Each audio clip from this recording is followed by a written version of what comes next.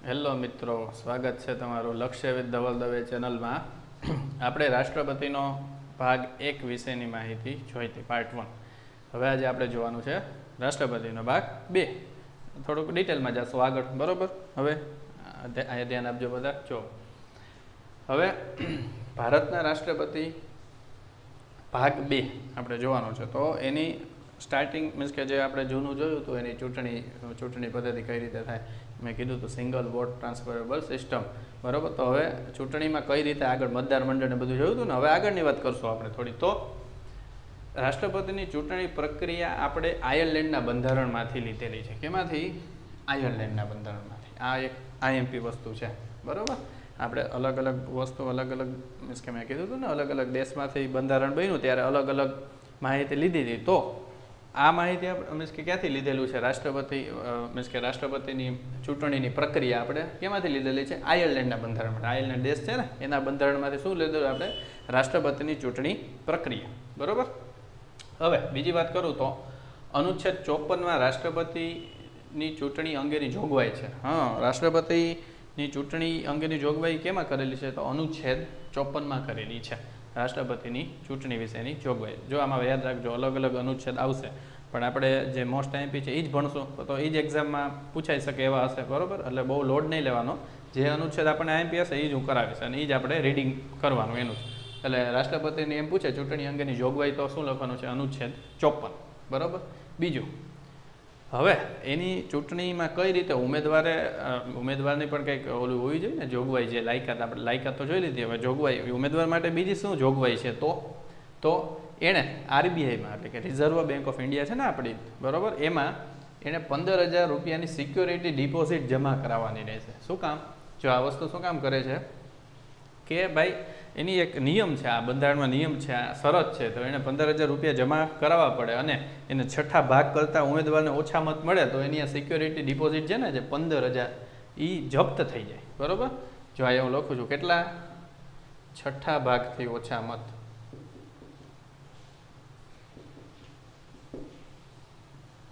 બરોબર? છઠ્ઠા ભાગથી ઓછા મત મળે, તો એની સિક્યુરિટી ડિપોઝિટ શું થઈ જાય? જપ્ત થઈ જાય. બરોબર? આ નિયમ છે અને આ રાખવું પડે, બંધારણમાં નિયમ છે એટલે. બરોબર? હવે, રાષ્ટ્ર, બીજું વાત આગળ કરીએ તો, રાષ્ટ્રપતિ બનવા યોગ્ય ઉમેદવારના નામનો પ્રસ્તાવ સંસદના કોઈ પણ એક ગૃહના ઓછામાં ઓછા પચાસ સભ્યોએ મૂકેલો હોવો જોઈએ અને પચાસ સભ્યોએ તેને સમર્થન આપેલું હોવું જોઈએ. આ વસ્તુ શું કહેવા માગે છે? તો જો, જે ઉમેદવાર, ઉમેદવારી નોંધાવે, ફોર્મ ભરે, તો જે આપણે બે ગૃહ હોય ને, એમાંથી કોઈ પણ એક ગૃહના, મીન્સ કે પચાસ સભ્યોએ એને પહેલાં તો એના નામનો પ્રસ્તાવ આપેલો હોવો જોઈએ. શું? કે હા ભાઈ, અમે આ વ્યક્તિને સપોર્ટ કરી છે, અમે આ વ્યક્તિના સમર્થનમાં છીએ. એના નામનો પ્રસ્તાવની અમે જોગવાઈ કરી છે કેટલા વ્યક્તિએ પચાસ વ્યક્તિ. એના નામનો પ્રસ્તાવ મૂકેલો હોવો જોઈએ અને પચાસ સભ્યો એને પછી બીજા પચાસ સભ્યો એને સમર્થન આપે એ જ નામને.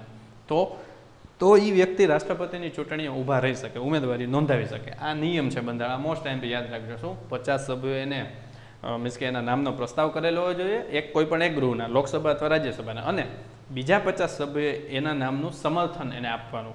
રેડી ટોટલ આવી રીતે સો વ્યક્તિ થાય, બરાબર? આપણે મંત્રી, બરાબર? તો આવી રીતે એ જ ઉમેદ એ જ વ્યક્તિ, ઉમેદવારી રાષ્ટ્રપતિ તરીકે નોંધાવી શકે. રેડી આગળ. હવે. જે ઉમેદવારને કુલ મતોના પચાસ ટકા પ્લસ એક મત મેળવે તે વિજેતા જાહેર થાય. રાષ્ટ્રપતિની ચૂંટણીમાં શું રૂલ્સ છે? કે કોઈ પણ સભ્યને જે ટોટલ મત હોય એના પચાસ, હું આગળ કઈ માહિતી આપશું, કેટલા મત છે? બરાબર ટોટલ મત હોય, એના પચાસ ટકા પ્લસ એક મત પણ મળી જાય ને, તો એ ઉમેદવાર પછી આ વિજેતા જાહેર થાય, એમાં શું જો રાષ્ટ્રપતિની આ જે ચૂંટણી પદ્ધતિ છે ને, જે કોમ્પ્લિકેટેડ છે, સિંગલ વોટ ટ્રાન્સફર સિસ્ટમ કહીએ, એ બહુ મગજમારીવાળું કામ છે, બરોબર? એટલે એ એક કોમ્પ્લેક્સ સિસ્ટમ છે આખી. એના થ્રુ આ બધી, આ, આખું એનું એડમિનિસ્ટ્રેશન થતું હોય, બરોબર? એટલે આપણે ખાલી એટલું જ યાદ રાખવાનું, જે એક્ઝામ લક્ષીને આઈએમપીઓ એ જ જોવાનું છે કે, જે ઉમેદવારને પચાસ ટકા પ્લસ વન મત મળે એ ઉમેદવાર શું થાય? વિજેતા જાહેર થઈ જાય. બીજું, હવે જો વાત કરું, મેં આપણે આના પહેલાના લેક્ચરમાં જોયું હતું મતદાર મંડળમાં કોણ કોણ ભાગ લે? મેં વાત કરી, તમને લોકોને યાદ જ હશે. જૂના વીડિયો જોતા રહેજો અને રિવિઝન કરશો તો જ આ આગળની માહિતી તમને લોકોને આવડશે. બરાબર? તો ભારતના કુલ ચાર હજાર એકસો વીસ એમએલએ કેટલા? ચાર હજાર એકસો વીસ એમએલએ એના મતનું મૂલ્ય થાય પાંચ લાખ ઓગણપચાસ હજાર ચારસો પંચાણું. રેડી જો. આ આંકડો આપણે ખાલી યાદ રાખવાનો છે. કદાચ ઓપ્શનમાં પૂછે છે, આમાં બહુ ડીપમાં રહેવાની જરૂર નથી કે ચૂંટણીની મતગણતરી કઈ રીતે થાય છે એની પ્રોસિજર આવે. બરોબર, પણ એમાં નહીં સમજાય એટલું બધું કોમ્પ્લેક્સ છે મેં કીધું એમ. આપણે ડાયરેક્ટ જે આઈએમપી છે એ મેં તમને ડેટા કીધો છે આમાં કે ભારતના કુલ ચાર હજાર એકસો વીસ એમએલએ થાય આપણા ટોટલ વિધાનસભા આપણી જેટલી છે ને આપણે બરોબર, હવે આપણે કેટલા સ્ટેટ થઈ ગયા? પેલા ઓગણત્રીસ હતા, હવે જમ્મુ કાશ્મીર કેન્દ્ર શાસિતમાં છે, એટલે અત્યારે અઠ્યાવીસ સ્ટેટ છે. આપણે અઠ્યાવીસ સ્ટેટની જેટલી વિધાનસભા આપણા થાય, એના ટોટલ ચાર હજાર એકસો વીસ એમએલએ. એમએલએ એટલે ધારાસભ્યો, મેમ્બર ઓફ લેજિસ્લેટિવ એસેમ્બલી. તો એ સભ્યોના મતનું મૂલ્ય કેટલું છે? પાંચ લાખ ઓગણપચાસ હજાર ચારસો પંચાણું. બરાબર? એટલા એનું મતનું મૂલ્ય છે, બરાબર? યાદ રાખજો. અને ગુજરાતના એક એમએલએના મતનું મૂલ્ય કેટલું થાય? છવ્વીસ હજાર સાતસો ચોપન. આ આંકડો પણ એક્ઝામમાં પૂછાઈ શકે. તો આપણે ડાયરેક્ટ આંકડો યાદ રાખવાનો છે. છવ્વીસ હજાર સાતસો ચોપન.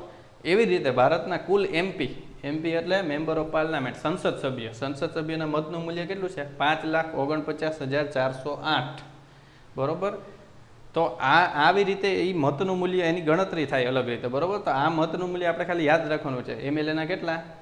બરાબર? પાંચ લાખ ઓગણપચાસ હજાર ચારસો પંચાણું અને એમપીના કેટલા? પાંચ લાખ ઓગણપચાસ હજાર ચારસો આઠ. એ એના મતનું મૂલ્ય છે. રાષ્ટ્રપતિની ચૂંટણીમાં એ જે તો એના મતનું મૂલ્ય આવી રીતે ગણાય. આ રીતે. બરોબર? આંકડો છે એનો. રેડી હવે આગળ. એટલે આપણે હવે જોઈએ તો ટોટલ શું થાય? કુલ મત ગણવા હોય તો શું થાય? કુલ એમએલએ પ્લસ કુલ એમપીના મત. એમએલએ એટલે ધારાસભ્ય, એમપી એટલે સંસદ સભ્ય ખબર જ છે તમને, બરોબર? એટલે પાંચ લાખ ઓગણપચાસ હજાર ચારસો પંચાણું પ્લસ પાંચ લાખ ઓગણપચાસ હજાર ચારસો આઠ, એટલે દસ લાખ અઠ્ઠાણું હજાર નવસો ત્રણ. ટોટલ મત. શું છે આ? ટોટલ મત, એટલે કે એમએલએના અને એમપીના બેયના ટોટલ મતોનું મૂલ્ય કેટલું થાય છે? દસ લાખ અઠ્ઠાણું હજાર નવસો ત્રણ. હવે વસ્તુ અહીંયા જુઓ તમે. મેં શું કીધું? આ મતના મૂલ્યના જો પચાસ ટકા પ્લસ વન મત મળી જાય ને, તો એ ઉમેદવાર રાષ્ટ્રપતિ જાહેર થાય, વિજેતા તરીકે જાહેર થાય. સમજાય છે? આ આંકડા કદાચ એક્ઝામમાં પૂછાઈ શકે. બરોબર? એટલે જ મેં માહિતી આની આપેલી છે. બરાબર? હવે રાષ્ટ્રપતિ બનવા માટે મીન્સ કે હવે આગળ આપણે શું જોવાનું? બીજું એના શપથની વાત કરીએ તો રાષ્ટ્રપતિ બની જાય. હવે આજે આ મતની ગણતરી, લાયકાત પૂરી થઈ ગઈ, મતની ગણતરી પૂરી થઈ ગઈ, જીતી ગયા કોઈ ઉમેદવાર, તો જીતી જાય પછી જે ઉમેદવાર હોય તો એને શપથ ગ્રહણ કરવા પડે, પછી જે એનો હોદ્દો સંભાળી શકે રાષ્ટ્રપતિ તરીકેનો. તો એના શપથ શું છે? અનુચ્છેદ સાઠ મુજબ. શેના મુજબ છે? અનુચ્છેદ સાઠ મુજબ સુપ્રીમ કોર્ટના સીજેઆઈ એટલે ચીફ જસ્ટિસ ઓફ ઇન્ડિયા. શું? ચીફ જસ્ટિસ ઓફ ઇન્ડિયા એટલે કે મુખ્ય ન્યાયાધીશ સુપ્રીમ કોર્ટના મુખ્ય ન્યાયાધીશ, એના દ્વારા અથવા અન્ય વરિષ્ઠ ન્યાયાધીશ, હવે મુખ્ય ન્યાયાધીશ હાજર ન હોય ને તો જે સિનિયર જજ હોય ને, બરાબર, આપણા સુપ્રીમ કોર્ટના સિનિયર જજ એ એના દ્વારા શપથ ગ્રહણ કરે. કોણ? રાષ્ટ્રપતિ. અનુચ્છેદ કયો છે? અનુચ્છેદ સાઠ મુજબ. આ વસ્તુ યાદ રાખવા અનુચ્છેદ રાષ્ટ્રપતિના અનુચ્છેદ છે ને, જેટલા એ બધા યાદ રાખવાની રાખી જ લેવાના છે. બરોબર? મોસ્ટ આઈએમપી અનુચ્છેદ બાવનથી લઈ એકોતેર સુધી વધુ પડતા આઈએમપી છે એ બધા યાદ રાખી લેવાના આપણે. એટલે અનુચ્છેદ સાઠ મુજબ સુપ્રીમ કોર્ટના સીજીઆઈ એટલે કે ચીફ જસ્ટિસ ઓફ ઇન્ડિયા મુખ્ય ન્યાયાધીશ દ્વારા એને શપથ ગ્રહણ કરવામાં આવે છે. રાષ્ટ્રપતિ કોની પાસે શપથ ગ્રહણ કરે? સુપ્રીમ કોર્ટના મુખ્ય ન્યાયાધીશ દ્વારા. એ હાજર ન હોય તો અન્ય વરિષ્ઠ ન્યાયાધીશ દ્વારા. રેડી હવે એના આપણે પગારની વાત કરીએ પગાર ભથ્થા.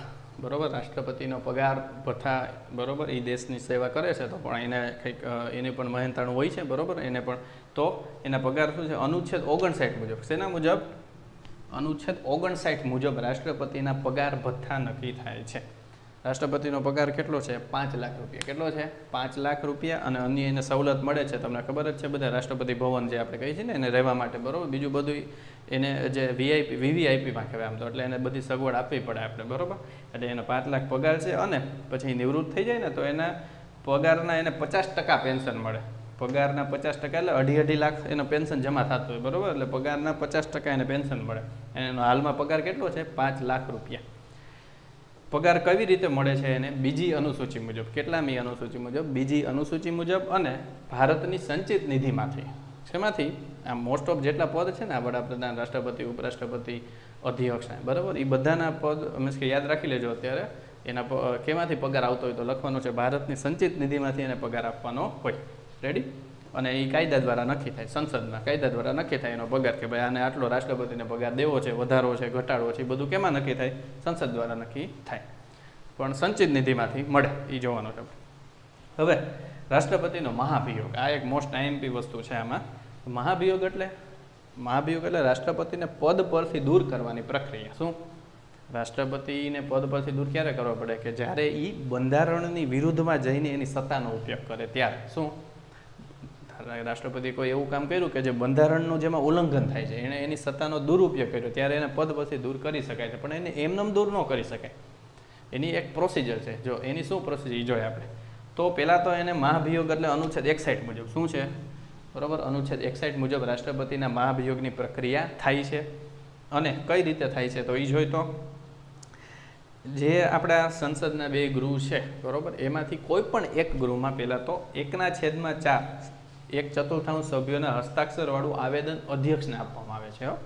આપણા સંસદ કે જે બે લોકસભા, રાજ્યસભા બે છે ગૃહ, એમાંથી કોઈ પણ એક ગૃહ, બરાબર? એમાંથી એકના છેદમાં ચાર સભ્યો, ટોટલ સભ્યો હોય ને, એનાથી એકના છેદમાં ચાર સભ્યોના હસ્તાક્ષરવાળું એક આવેદન હોય. એ આપણે પહેલાં અધ્યક્ષને આપવું પડે. એને મહાભિયોગ દૂર કરવાનું પહેલું સ્ટેપ આ છે. બીજું સ્ટેપ ચૌદ દિવસ પહેલાં રાષ્ટ્રપતિને નોટિસ આપવી પડે. એને દૂર કરવા એ વાત સાચી છે, પણ એને પહેલાં ચૌદ દિવસ અગાઉ રાષ્ટ્રપતિને જાણ કરવી પડે કે અમે ભાઈ તમારી વિરુદ્ધ મહાભિયોગની પ્રક્રિયા કરી છે. અમે આવી કાર્યવાહી કરીએ છીએ. બરાબર? એને પહેલાં આગળ આવી જાણ કરવી પડે. આ બંધારણમાં નિયમ છે. ડાયરેક્ટ એને એક બહુ વીઆઈપી વીવીઆઈપી પદ કહેવાય. સન્માનનીય પદ છે. એટલે આ બધી પ્રોસિજર કરવી પડે. એને ડાયરેક્ટ સસ્પેન્ડ કે ડિસમિસ ન કરી શકાય. આવી રીતે એને સંસદની પ્રક્રિયામાંથી પસાર થવું પડે અને પછી જ દૂર કરી શકાય. બરાબર? હાર્ડ વર્ક છે થોડુંક હાર્ડ એટલે ચૌદ દિવસ પહેલાં શું આપવી પડે? રાષ્ટ્રપતિને નોટિસ આપવી પડે. બીજું?